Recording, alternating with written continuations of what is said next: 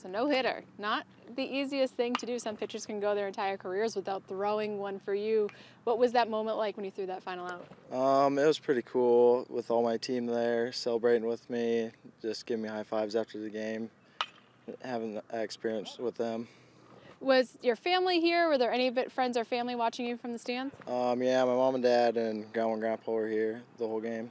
What was it like having them watch you have such a career milestone? Um, it was pretty cool. They've been to like all my games this year and all the times I played baseball everywhere. Have you ever come close to throwing a no hitter before? Um, yeah, last summer I threw a one hitter with my summer team, so that's pretty cool too. What pitch was working for you on Wednesday? Um, pretty much my fastball. I mean, my curveball is working once in a while, but not every time like usual.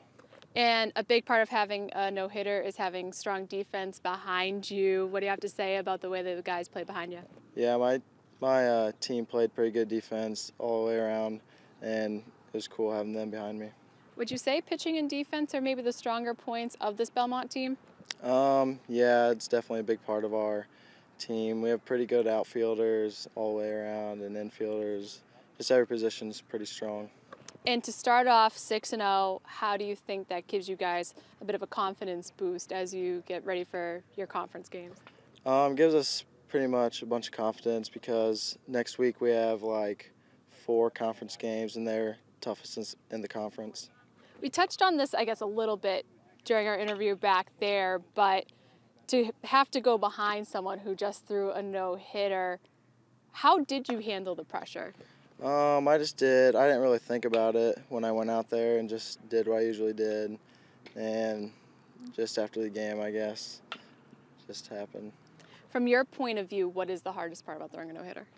Um, making sure you locate your pitches and keeping the ball down and don't let anyone really hit it solid or anything. What did your coaching staff had to say and Coach Fabush? I mean, were they in shock that you went out there the very next day. It wasn't back-to-back games, it was back-to-back days too.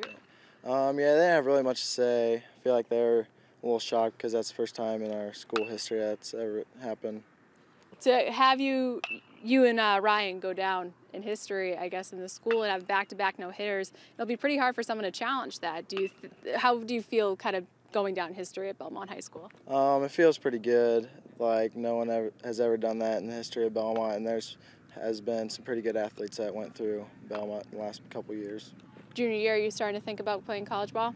Um, yeah, I have sometimes, not like really hard lately, but I probably will next couple months and so during summer.